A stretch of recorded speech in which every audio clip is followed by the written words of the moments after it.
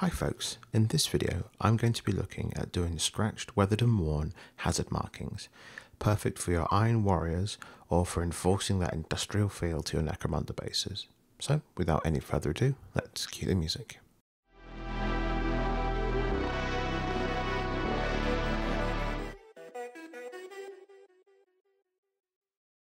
To start out with, I'm going to be applying a yellow base coat to the areas which I want to have the hazard markings. And to do this, I'm using Averland Sunset from Games Workshop. Due to yellow being a trickier colour to work with than most, I've thinned this down with a little bit more water than normal, and I'm looking to do possibly 3 to 4 thin coats of this. Due to the pigment used in yellow, it can be a bit thicker than normal, so it's very important that we thin this down. If you're doing this for an industrial base or you just want to do this quickly, you might want to thin it down to do it to the point where it's maybe two thin coats or three thin coats rather than three or four.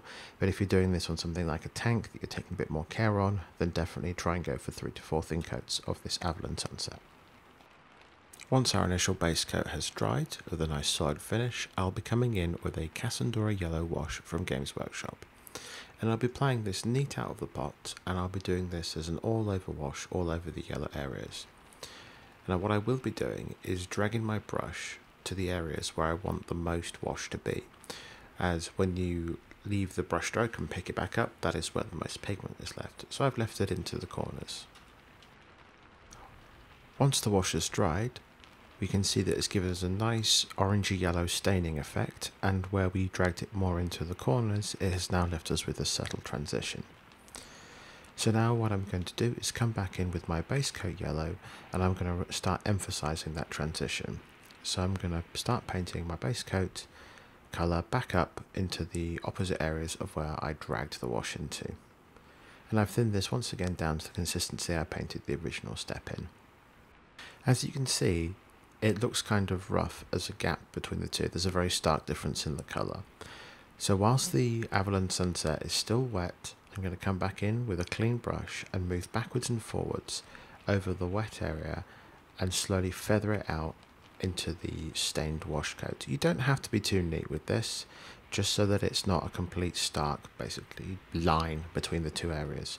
We're going to be painting black stripes over this, which will really help hide any unsmooth blending we've got going on here. Next, we are going to use your favourite black to paint in the stripes on the hazard markings. And I'm going to be using the angles on the base as a guideline for this. And so I've thinned down the black a little bit more than normal, and I'm doing these lines vertically where I can. It is much easier to do these stripe markings if you're going in a straight downwards motion if you've got a bit more practice, you can try doing an angle, but you just need to be roughly in the same sort of direction and the same sort of spacing. It doesn't matter if it's not quite perfect, especially if it's on a base or if it's on a curve surface on a model, because when it's on a tabletop, you really won't notice the difference. And with this, it's just a matter of taking your time and using the bits of the model as a guideline and trying to do that straight motion coming down. Don't feel that you can't turn the base or the model to get a better angle, use everything you can to your advantage with drawing these lines. And as you can see, these aren't perfect, but they've given us a nice good guideline to get the impression across. With the guidelines in place for your hazard markings, all that's left to do is to fill in the gaps in between. And so what you want to do is start by painting in one, just pick one, doesn't matter which, and then make sure that you skip one and paint the one one away from it. So in that way you get the, the black, yellow, black, yellow markings. And keep the paint thin and take your time with this. And if you believe that it helps, switch to a smaller brush or one that you feel confident with.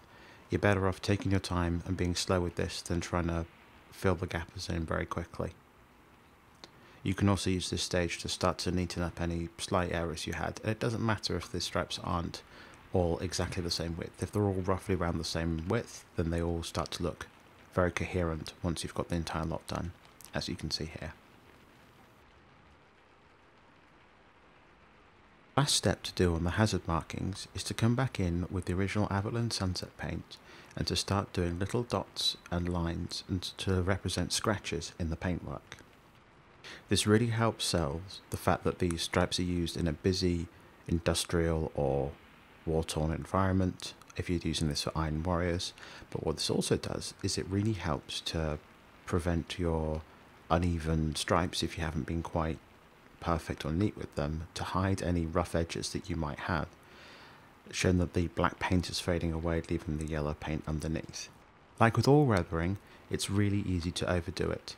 So what I'd recommend is doing a couple of lines, a couple of dots to represent chips and scratches on each of the black stripes and see how you like the look of it. It's always easy to add more and it's very difficult to take this away. To really sell this as being a very heavy weathering and wearing away of the black paint, you can do an edge highlight on the corners and on the straight edges of the areas that you've done your hazard markings.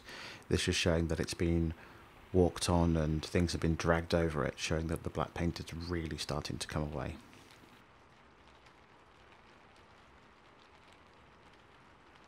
And with that, the chipping and weathering and the hazard stripes are now complete. I hope you've enjoyed this video if you've managed to make it all the way to the end. And if you did so, why not consider subscribing? It's free of charge, it helps me out, and you get further notifications in your feed on tutorials just like this one. So, until next time, folks.